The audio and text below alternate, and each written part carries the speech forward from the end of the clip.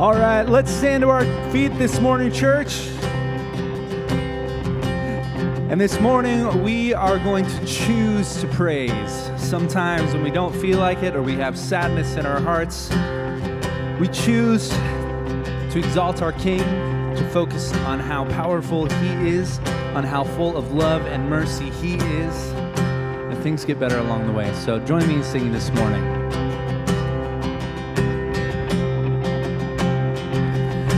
I raise a hallelujah in the presence of my enemies. I raise a hallelujah louder than the unbelief. I raise a hallelujah. My weapon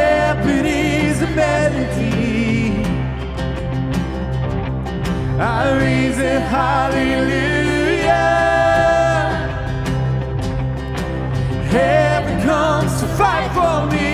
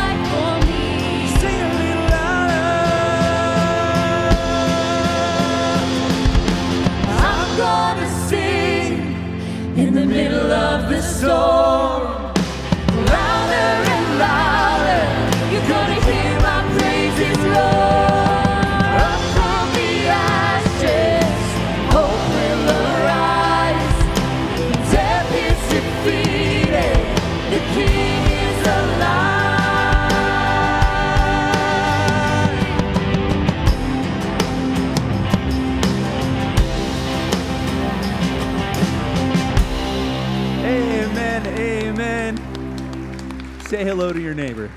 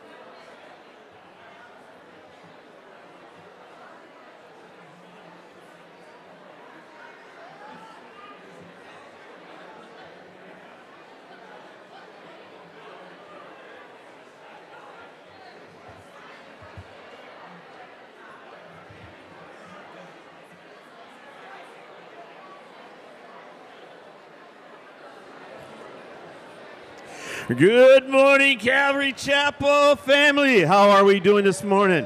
Listen to that fellowship that's going on. Listen, I don't want to stop you, but they give me only so much time and to give you the correct and information you need to get going. So, listen, a reminder we have an upcoming network medical fundraiser April 26th. We have these flyers outside in the foyer. April 22nd. Thank you. See, your fellowship continues, and I love it. Yes, at the Granada, please. Uh, also, we have Lost and Found out in front. We have glasses, tumblers, clothes, and believe it or not, Bibles. All right.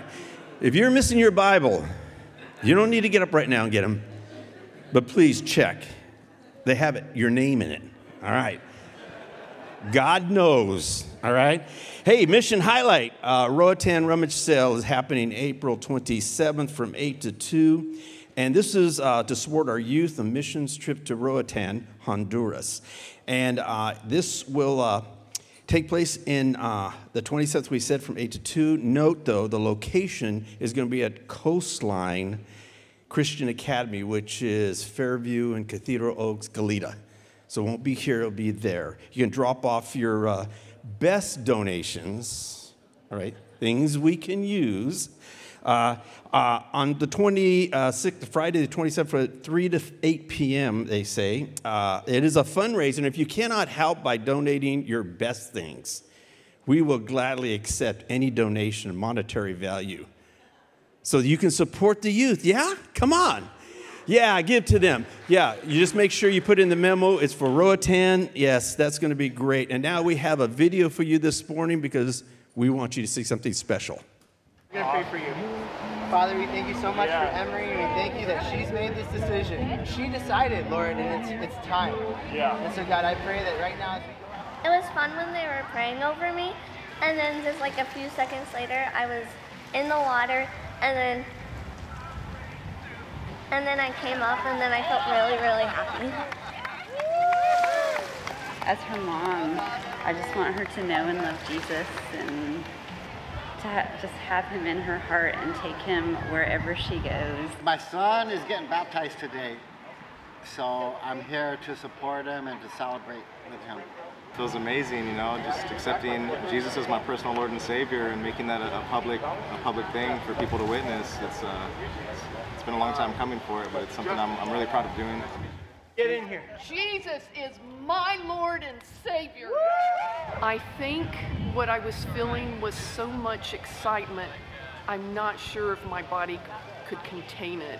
I was just buzzing with excitement and no nervousness at all a tremendous experience to see other people baptized. We, we, rejoice with them. It's just if you believe in God and that Jesus is your Savior, please come on in and be a part of this great family.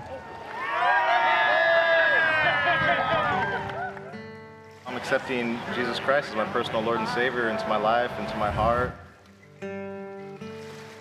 That's my prayer for her, that the gifts He's given her, she'll take and she'll use them. You are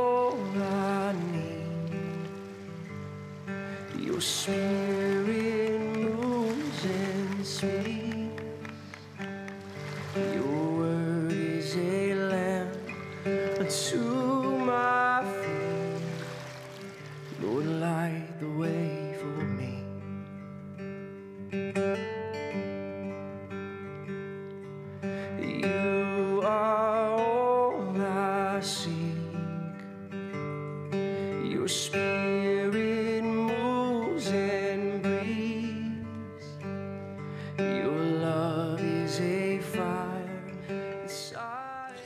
Wonderful, wonderful time of sealing faith. Isn't it gorgeous to see people put their faith in the Lord? Here it is next Sunday, April 21st.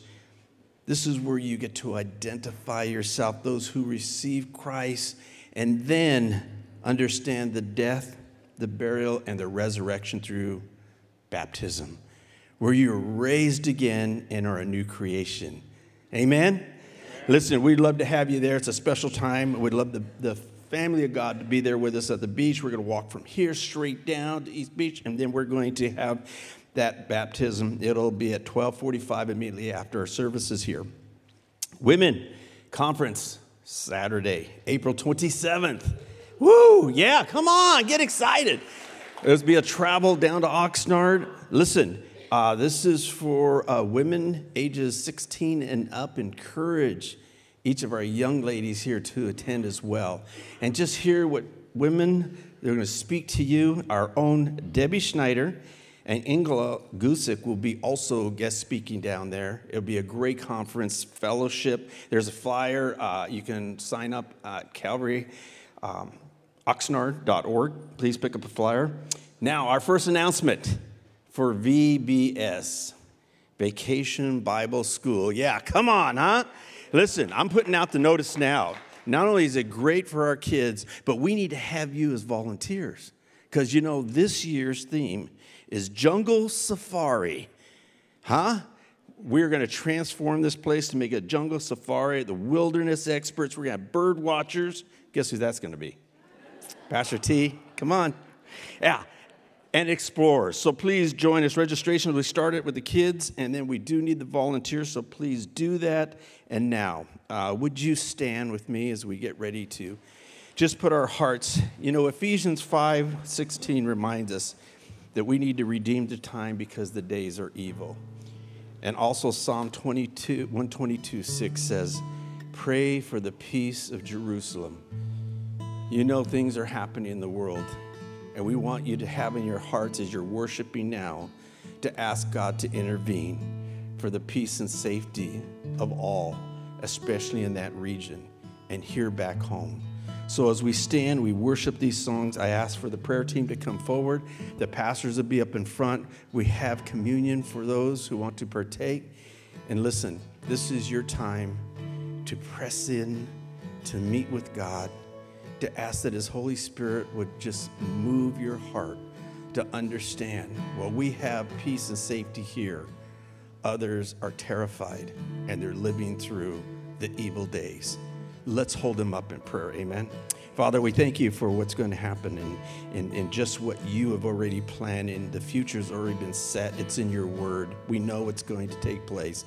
But let us not be faint, Lord, but we give thanks to you. We give thanks for those who are here and those who are watching online that you would just quicken our heart to remember you are in control of all things, but you still ask us to pray. He wants to hear prayers. So we ask that now. We thank you for the those who give and their tithings, Lord. We ask now that you would anoint the worship team, anoint Pastor Zach as he brings the word. And we ask that you, Lord, would be who we praise today. In Jesus' name, amen.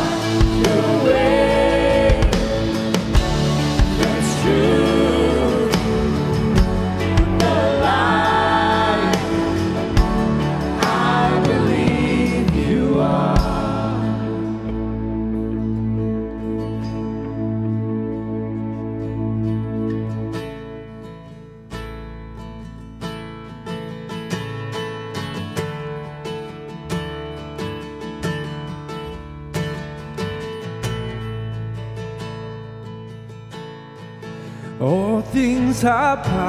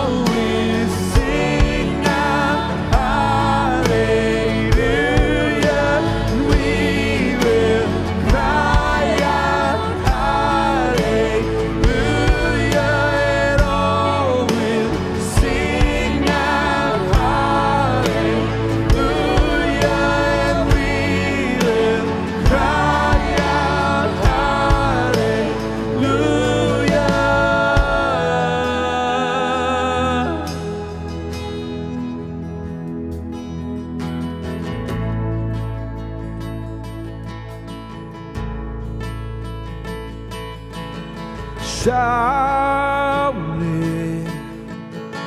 Go on and scream it from the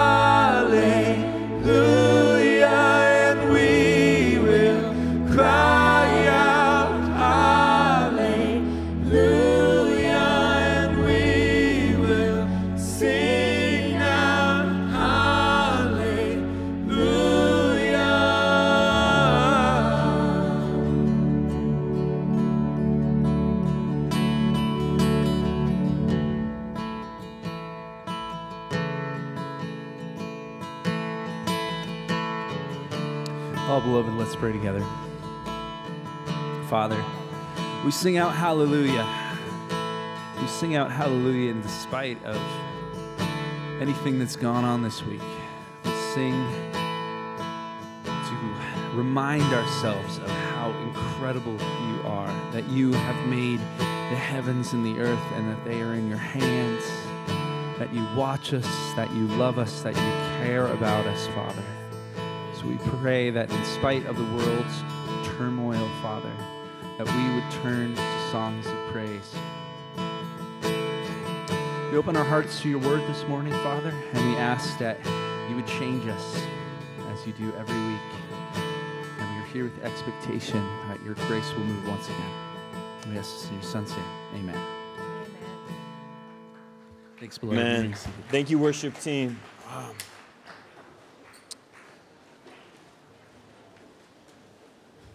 Good morning, church. How's it going? I'm excited to be with you this morning. If we haven't met yet, I'm Zach, one of the teaching pastors here. And um, I'm, uh, I'm thrilled uh, to go through John 17 with you this morning. So if you'll turn to John 17. Um, John 17, as, as Pastor Guzik uh, taught through last week, John 17, we could spend really like years in John 17 and, and only ever scratch the surface of its depth. And there's, there's, there's something rich because we have these glimpses into Jesus teaching us how to pray, yes? Right? He gave us the Lord's Prayer. He showed us how to pray in many different ways. We have declarations about prayer in the epistles. We have Paul talking about what his prayers are for, like, the church in Ephesus or the church in Philippi. But there's something precious about John 17 because this is an intimate glimpse into Jesus' dialogue with the Father. This is Jesus' prayer. This isn't him teaching us how to pray. This is him praying for us. And, and so there, there's something, there's something um, raw and intimate about it. And, and it's, it is almost like we're peeking into something we're not supposed to, you know? But hallelujah that we get a glimpse into it, yeah? And so uh, the, the first part of John 17, which is often referred to as the high priestly prayer, uh, prayer what Tommy went through, Pastor Tommy went through, is uh, Jesus first prays for himself, right? It's, it's, this moment between him and the Father. Last week, Pastor Guzik took us through Jesus' prayers for the disciples, right? The, the 12 that are with him and, and his immediate uh, group that were with him. And now we are going to get a glimpse into Jesus' prayer for us. Calvary Chapel, Santa Barbara. So, John chapter 17, verse 20 through 26 says this I do not ask for these only, so these apostles only, these disciples only, but also for those who will believe in me through their word, that they may all be one, just as you, Father, are in me and I in you. That they also may be in us, so that the world may believe that you have sent me. The glory that you have given me, I have given to them, and they may be one even as we are one. I and them, and you and me, and they may become perfectly one, so that the world may know that you sent me and loved them even as you loved me. Father, I desire that they also, whom you have given me, may be with me where I am, to see my glory that you have given me because you loved me before the foundation of the world. O righteous Father, even though the world does not know you, I know you, and these know that you have sent me. I made known to them your name, and I will continue to make it known, that the love of which you have loved me may be in them and I in them. There's a lot of I in him and you and me and me and you and us and we, right? So we'll parse it out together. And Lord Jesus, would you bless your word this morning? Lord, um, you say in John 14, Peace I leave you, not peace I give you. Uh, the peace I leave you, my peace I give you, not as the world gives, do I give you. Let not your hearts be troubled, neither let them be afraid. Lord Jesus, I believe this, this morning there's many of us who have come in with troubles and worries. And we've made a lot of decisions lately out of worry, a lot of anxiousness. Lord, I pray this morning for peace, not peace as the world gives, but peace and harmony with you, a unity with you, a oneness with you, an acknowledgement and a knowledge of you that springs forth into beautiful and wonderful works. Make us whole this morning. Give us peace this morning. Calm whatever frenetic uh, and anxious meanderings of our thoughts, and, and Lord, just still our hearts. We love you. We trust that your word does not return void. It never returns void. There's something here for us. And so, Lord, would you bless your word? Would you bless the hearing of it? And whatever is said of me may be forgotten, but whatever is said of you may be etched upon our hearts for all of eternity, Lord. We love you, we love you, we love you. And it's in Jesus' name we pray. Amen. Amen. So Jesus is praying for us. He's praying for us. And, and, and it's not in the sense that very often in the Bible we insert ourselves into it, yes? Sometimes where we shouldn't. You know what I mean? Like how in, you know, uh, it, it, talks about in Leviticus when you raid this one village, make sure that you skin people's heads or you shave people's heads first before you take them as your wife, right? We don't apply that to us, yeah? Cool. That's for a different time, for a different space, yes? we, we tend to insert ourselves into different portions of scripture right? We, we tend to say okay this is for us right? This and, and you know pastors to say i believe that this is a word for us. And there's this very general sense in which we take the word of god and we say this applies to us. This applies to us for sure 100% in this moment this applies to our hearts it applies to my marriage it applies to my life it applies to my kids but this is a very specific moment in which jesus is specifically praying for us believers who would come out of the wake of what the disciples are going to do just months after this. He's praying for us. He's praying for you. He's praying for Calvary Chapel, Santa Barbara. He's praying for believers who have given their lives to Jesus in the wake of what the disciples preached 2,000 years ago. We are but one ripple in this mighty wave of God's work. And, and, and we are caught up in something more glorious and more beautiful than we could possibly imagine. And Jesus understands that his disciples, they're going to go through a lot of failure. Yeah? They're going to go through a lot of failure. But ultimately, their work that they're going to do through the Holy Spirit is going to change lives and it's going to affect even us here today. And there's something beautiful about it. This prayer is an intimate glimpse into the earnest desire of Jesus for us in this day and this time. There are many things we assume Jesus wants for us. We take scripture and we interpret it for our time and space and context, but these words, his actual words, are for us. So, what is God's desire? What is Jesus' desire for us, for us believers, in the wake of the mighty work that he's going to do through his apostles just uh, days after this? There's three things that we see here in this passage. Now, I'm going to give a caveat. The Pastor David, I think it was very wise of him to give this caveat last time. I'm not going to go through everything. I, mean, I can't unless you want to be here for what, like six and a half hours, yeah? Which, I mean, we have burritos now. We can just like send them in. If you want to be here for six and a half hours, I'm game. But we're not going to go through everything. But here's, here's three things that we see here. One, Jesus wants us to be one. Jesus would desire for us to be one. Two, Jesus wants us to see his glory. And three, Jesus wants love to dwell in us. So, first, Jesus prays that we would be one. Jesus talks a lot about in, in this passage God and people being in each other, and us and Him, and Him and us, and God and Him, and Him and God, right? Like you notice just how kind of like it's like a Jackson Pollock painting of a word, you know, of a prayer a little bit. There's just this here and that there, this and him and him and me and me and her and her and this and this and then. You know, it's like so much. But we see this just condensing it down that the Father, Jesus says that the Father is in the Son that God the Father and God the Son dwell in this beautiful unity, and that the Son is in the Father. We see that in verse 21. But we also see that believers are in the Father and in the Son. We see that in verse 21. And then we see that the Son is in believers everywhere. There's this unity, this oneness, this unification between God the Father, God the Son, and us in the Father and in the Son, and the Father and the Son in us. What Jesus, what we're getting a glimpse into is this, this unified and beautiful relationship that Jesus has with the Father.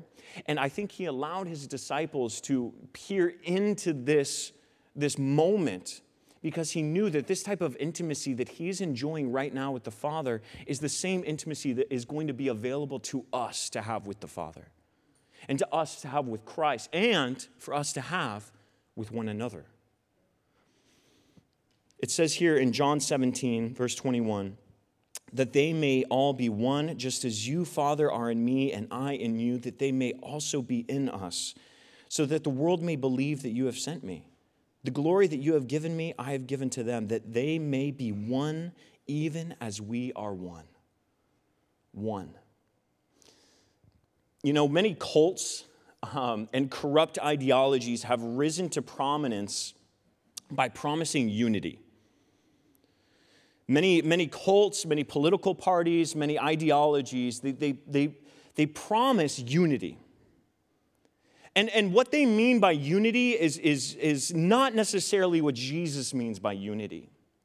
Because there, there really is this ingrained and deep desire in every single one of us to be unified to someone or something or something greater than ourselves. It is ingrained in our nature to be a part of something that is greater than us, to be unified. People uh, fall for it hook, line, and sinker because it's our nature to desire connection and shared vision. It is our nature. It's in our nature to desire these things. It's ingrained in our DNA to want to belong to other people. To feel like we're not just like floating through space aimlessly, but that we have a purpose and we have a place where we can call home and we have a people that we can feel unified, connected to, and tethered to.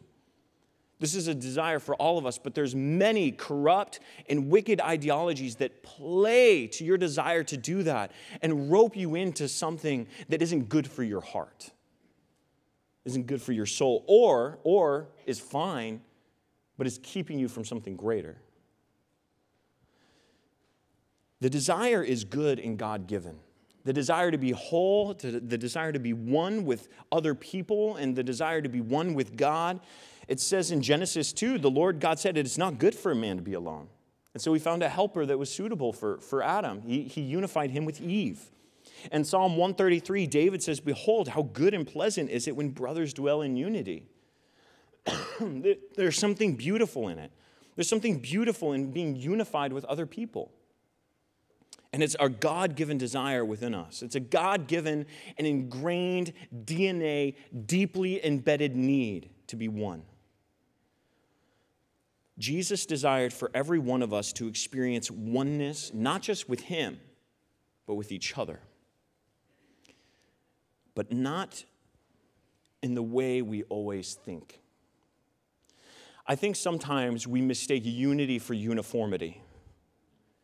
We, we, we think that unity somehow means that we all need to be uniform. We all need to be same. We need to be on the same page about every single thing. We need to wear the same clothes. We need to sing the same songs, right? We need to clap to the same beat. And, and, and I think sometimes in an attempt for unity and this earnest yearning for unity, we end up breaking people's spirits and what makes them special. Because we're breaking their legs to kind of form them into, into a mold that they just don't fit. In church, if we're not careful as a church, we could do this. We could say, okay, here's like the perfect Christian, here's the ideal Calvary Chapel goer, right? Like here he is, right? Um, uh, David Newton, uh, I remember we were, uh, we were having coffee and you talked about like Mr. Calvary, right? You know, he's got his Hawaiian shirt, he's got his Bible on his buckle, right? It's like, all right, this is the guy, right? And, and, and it's like sometimes we can have this like image, right, of like what we're supposed to be like, how we're supposed to fit, and think that it, and we mistake it for unity. But really, there's beauty and unity in diversity. We see this in God the Father, God the Son, and God the Holy Spirit, living in perfect unity with one another, yet diverse in their attributes and how they function in the world.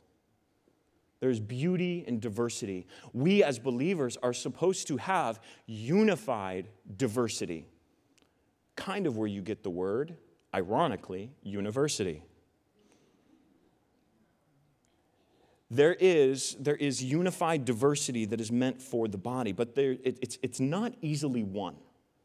Unity is not easily won, it is not easily gained. God, Jesus wanted us to be one just as Jesus and the Father are one. And the oneness of the Father and the Son is cosmic and it's eternal. And so it's pretty intimidating for me to think about, like, I'm supposed to be one with you guys? in the same way that Jesus is one with the Father? I'm not sure, right? I, basically, I'm not sure because I don't think I'm capable, right? I have a hard enough time relating to my wife and my kids. I'm supposed to relate to every single one of you the same way that Jesus relates to the Father. I can't. I can't do that, right? It's an intimidating thought. It's an intimidating thought, but, but, but here's in essence we have to put this in the right context. We have to put this verse in the right context. We have to put this prayer in the right context. Jesus is going to be arrested tonight. This night that Jesus is praying. I don't know whether it was like 25 minutes after this. I don't know whether it was an hour and 25 after this, two hours, right?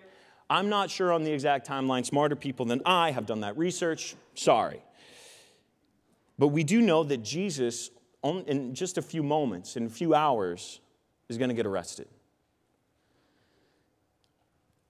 And he's going to take his disciples to the Garden of Gethsemane, and he's going to kneel in this quiet moment with the Father, pores dripping blood out of anxiousness and reeling that he is about to take on the wrath that was deserved for all of humanity.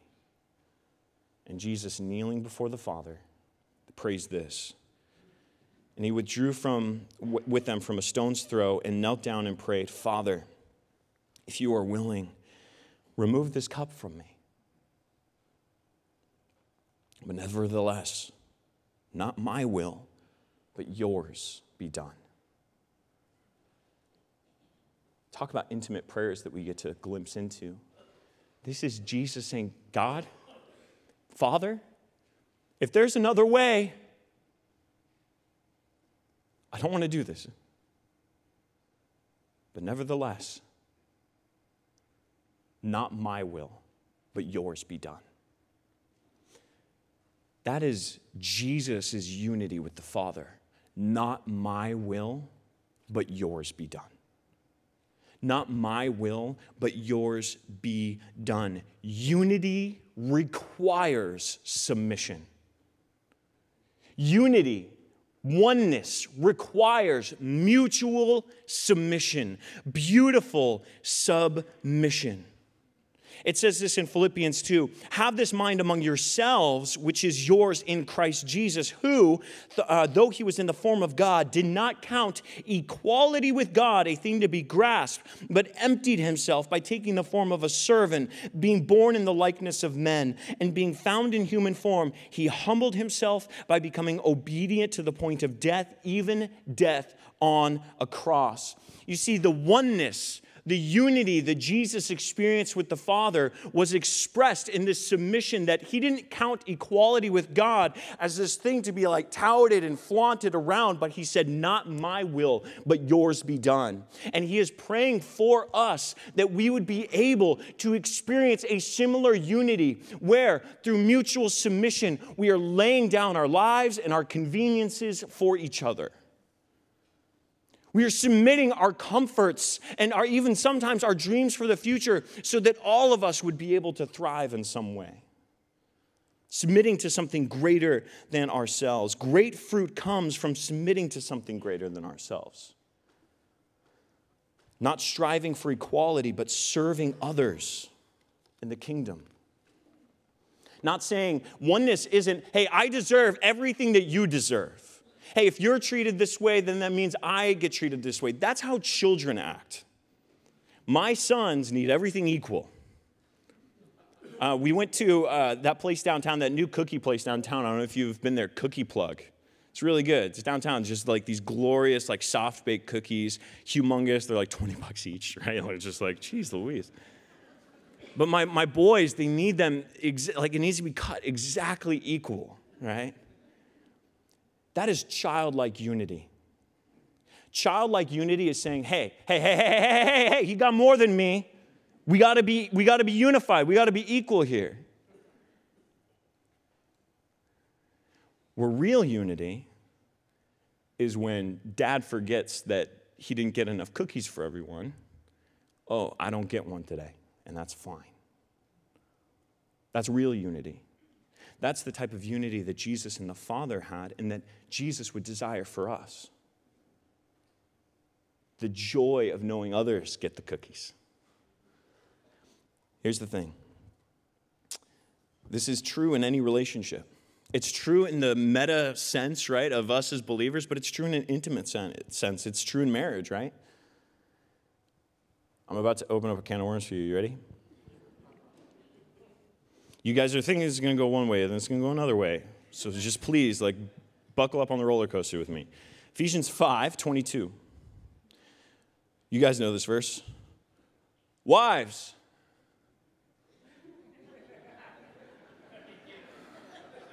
submit to your own husbands as to the Lord. yeah.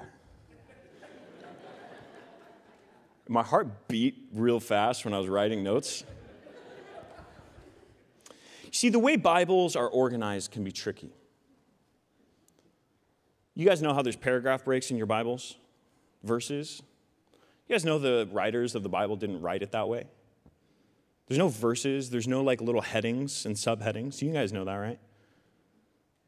It's all one letter. It's not broken up into categories.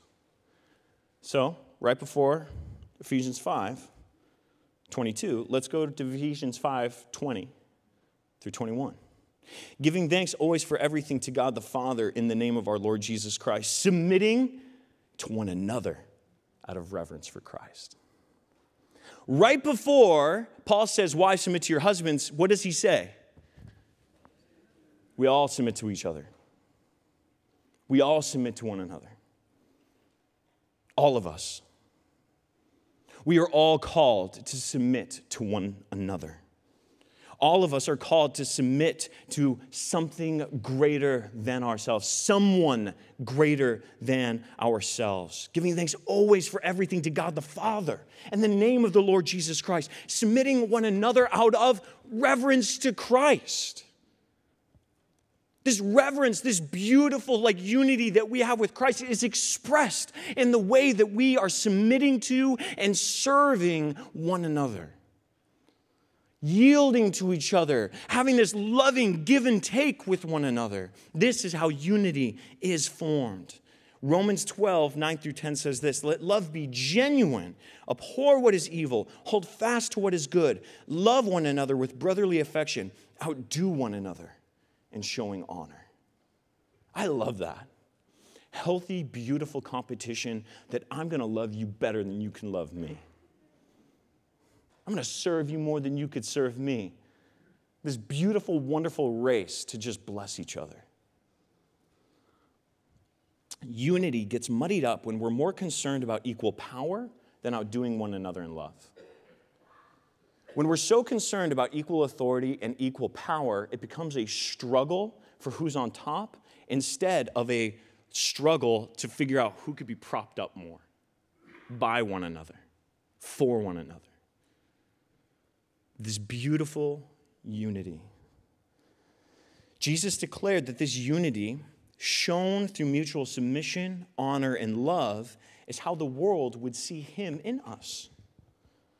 John 17, verse 23 I and them, and you and me, that they may become perfectly one, so that the world may know that you sent me and loved them even as you loved me. John 13, 35, Jesus says this By this, all people will know that you are my disciples, that, if you, uh, that you have love for one another. Jesus is laying out a pretty compelling case that the way the world is going to know that we are in Him is how we treat each other. How are we doing? And not, not just like in this room on a Sunday morning, how are we doing? How are we doing like Monday through Friday? How are we doing to like other denominations? How are we doing to other churches in the community? How are we doing to like believers who disagree with us on like really minor things? How are we doing? Because the way we are unified in mutual submission and love for each other is the testimony that we have to offer the world about who Jesus is. That's hard. I would much rather the testimony to the world just be simply what I have to say about Jesus. But it's not that simple. Because we could preach love all we want and we can like drop charity bombs into like these different areas, right? These different countries that we never visit again. But on the day to day, how are we treating each other? How are we showing up for each other? That's big. That's huge. That's huge. And here's what unity isn't. We talked about this a little bit. Unity is not uniformity. It's not sameness. God isn't looking for people who look the same, talk the same, wear the same clothes. He isn't looking for mindless adherence to rules to make you look and talk like everybody else. The church is described as a body with different members, unique abilities and traits and quirks and idiosyncrasies submitting to Christ. You could be you. Just be you who loves Jesus and is submitted to Jesus, yeah? Don't be the selfish you, be the submitting you but still be you. To look and talk like anybody else that you think is, is an approved or like pre approved, like Church Plus member, right? And here's also what unity isn't unity isn't easy, and it's not without conflict. Peter described the church as living stones built up in the image of Christ. I don't know if you guys know that stones back then, it's not like they were all like perfectly formed, like uniformed, factory made, you know, bricks here. Stones required friction and rubbing up against each other and chiseling to make them fit together. And the same is with us. Unity requires some tension it requires some sanding down and shaving down of our ego so that we could properly fit together and be built up into something that glorifies Jesus. Paul said in Ephesians 4, endeavoring to keep the unity in the Spirit and the bond of peace. There is only one body and one Spirit, just as you were called in one hope of your calling, one Lord, one faith, one baptism, one God and Father of all, who is above all and through all, and in you all. Hallelujah. There's an endeavoring, though. It says, endeavor to keep the unity of the Spirit. There's a work involved. There's work involved. Unity is hard work and it doesn't come easy. It requires death to self and living in submission to someone more significant than you, Jesus Christ. Um, I remember uh, writing my wedding vows to my, my wife, which is a slippery slope, by the way because you know like there's cookie cutter vows that you can do and, and I've, I've done weddings where like they've desired those and i think that's wise in a lot of ways um, because writing your own vows is gnarly it's gnarly guys And because, so when I, when I do weddings, I, and, and when a couple wants to write their own vows, I, I'm very forward with them. I say, don't, don't do that cute thing where you say, well, I promise to like give you foot massages every night. I promise to make you lattes every morning, right? Because, first of all, keep this in mind you're vowing before God to this person. Don't make a vow that you aren't serious about keeping. Be very careful, be very earnest. Like, be very careful because you're not going to make her a latte every morning. You're just not. Sorry, you're not. I remember writing my vows to my wife and like going through all these things I desired for her and realizing like I can't do that.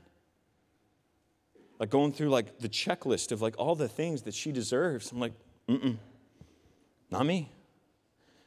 Also not me. Sometimes me, most of the time not me. Never me. Mostly me, but I'm gonna have moments. I just remember like going through it all and just being like, I can't offer this woman anything. And so I remember being before her on our wedding day, and my vows to her, paraphrased, were I'm not the man of your dreams. I'm not. And I never will be. I'm not going to measure up. I'm going to fail. I'm going to stumble.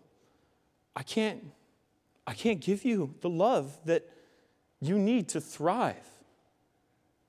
So here's what I'll promise I'll promise that Jesus can do all that for you. I promise that He can.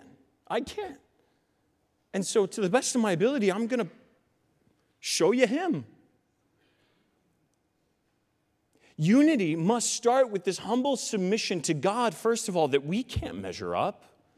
We can't give people what they truly need, but perhaps, just perhaps, through strength and willingness to yield, we can offer other people Jesus. And as we faceplant through marriage and friendship and parenthood and, and all of these commitments, perhaps, maybe, maybe these stumbling people, as, G, as, as Tommy calls this misfit pack of weasels, can somehow get it together enough to point each other to Jesus. Unity unity. The second thing, and I'm not going to go as long in the sec- other two points as I did the first. The second thing Jesus desires is that we would see his glory. Father, I desire that they also, whom you have given me, may be with me where I am, to see my glory that you have given me because you loved me before the foundation of the world. Simply put, guys, Jesus' desire is that he wants you to see his glory. He wants you to see him. He wants you to see glory. He wants you to experience glory in eternity. Yes, amen, but also here and now. The kingdom of God and the glory of Jesus is going to be available for us into eternity. Hallelujah. But there are glimpses and pockets of it here and now that we get to experience. Paul prays this in Ephesians 3.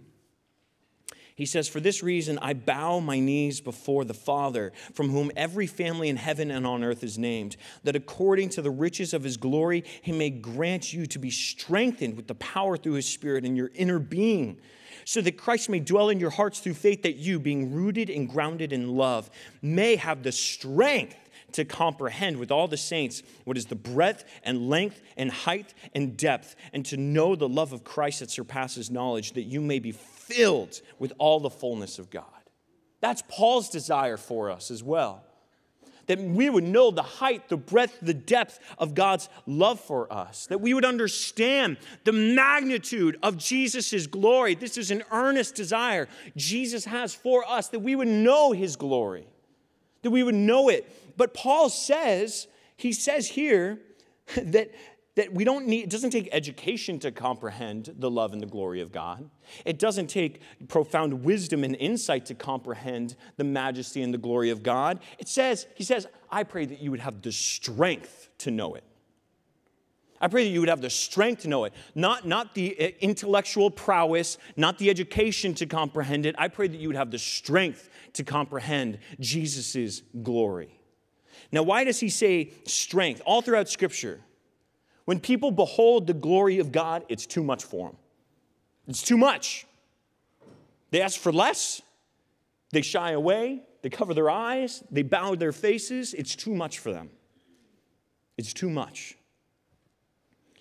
His majesty is too gnarly, too palpable, too hot to handle.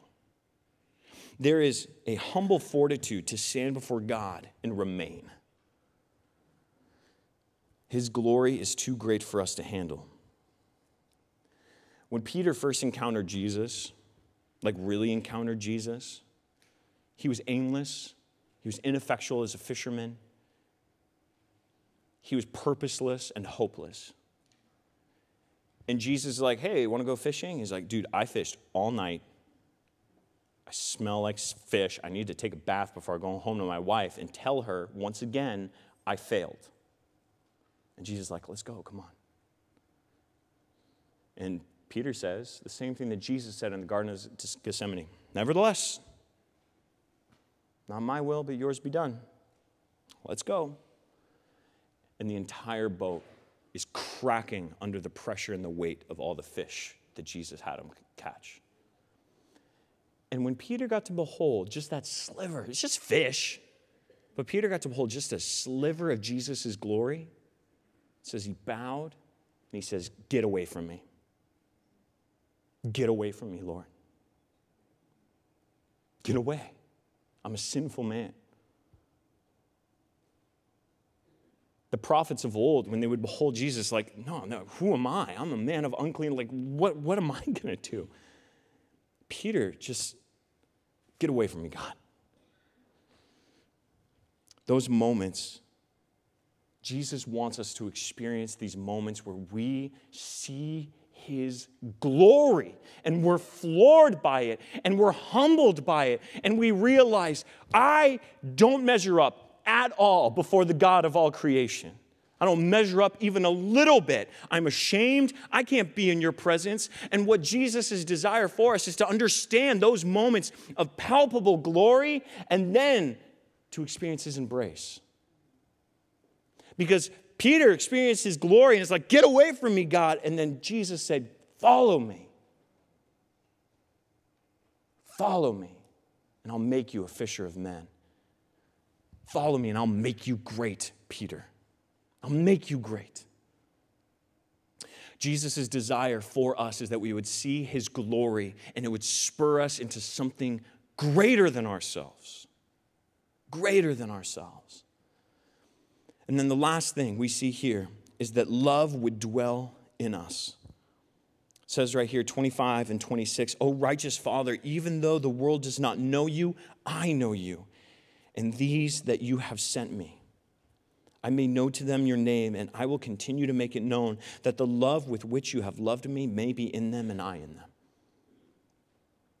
Before Jesus came onto the scene, John the Baptist was baptizing people in the Jordan River, right? He was calling, like thousands of people flocked to John the Baptist. Thousands. Guys, like John the Baptist had a following. It was gnarly. And John the Baptist, his message was simple repent. Like, come forth. Like, we've fallen short. Like, the kingdom of God is at hand, the kingdom of God is coming, and you better be ready for it. And thousands and thousands of people resonated with that message, as weird as John was, because John was a weirdo. Like, if, if John the Baptist were here today, none of you would listen to him. John the Baptist, though, he had this message repent. It's coming. Prepare the way of the Lord. It's coming. Something glorious is coming. Be ready for it. And people were being baptized because they were turning back to God. They weren't quite sure what it all meant. They weren't quite sure the full picture, but they realized that they had strayed and they needed to give their lives back to the Lord. We're going to be doing baptisms, and some of you might feel something similar to these people back then in the Jordan River listening to John the Baptist. As John the Baptist preached, they could feel that tightness in their chests, that angst, that understanding, that sometimes subtle or overwhelming sense of hopelessness. That feeling that they weren't enough, they didn't measure up, they couldn't please God, but they knew they had to take a step somewhere. And some of you might be feeling this way. That tightness in your chest, that labored breath as you think about God. Like, I, I just don't know if I'm good enough. How could God be pleased with me? But these people, they stepped into the water nonetheless because they knew something glorious was going to happen. And then, in the midst of it all, the sea of people that are standing on the shore, there's this figure that weaves in and out. Nobody notices him, nobody recognizes him except for John. And this man who is just a normal face among all the faces emerges. And you hear the booming voice of the voice crying out in the wilderness, John the Baptist saying, Behold, the Lamb of God who takes away the sins of the world. Jesus goes into the water and allows John, although he's sinless, he allows John to baptize him. And when Jesus emerges out of the water, it says that the heavens cracked open. It says this in Mark um, 1, verse 10. And when he came out of the water, immediately he saw the heavens being torn open. Torn like, like the skies were cut with a blade, and the heavens were torn open, and the Spirit descending on him like a dove. And a voice came from heaven You are my beloved Son, with you I am well pleased. Jesus has the pleasure of the Father. Jesus has the favor of the Father. Jesus has the love of the Father. It's in Him that God is pleased. And this beautiful and glorious work that Jesus is praying for us is that we would realize that that same favor, that same love, and that same pleasure that God has in Jesus, He now has in you. Because when Jesus hung on that cross, everything that was true of you, your sinfulness, your brokenness, your inability to measure up, everything that was true about you, that night on Golgotha became true about Jesus. And then when he rose again, everything that was true about Jesus is now true about you. You have the pleasure and the favor and the love of God. In the same way, the heavens cracked open and the skies poured forth with a voice saying, This one, yes, this is the one. That's how God feels about you. Yes, mine. I'm pleased with you. I'm pleased with you. And so, Jesus' final prayer for us, it's Christ's earnest prayer for you and for I that we would experience the love and the favor of God, to gaze up into heaven and hear the gentle voice of a father that says, I'm pleased with you. I'm pleased with you. Feel it, understand it, know it, and then live it out. Stop living as people who don't have the favor of God with them. Stop living as people who are on the outcasts and are on the fringes of God's beloved community. You are a part of this whole thing. And God looks upon you. If you have given your faith in Jesus Christ, God looks upon you and says, This one, yes.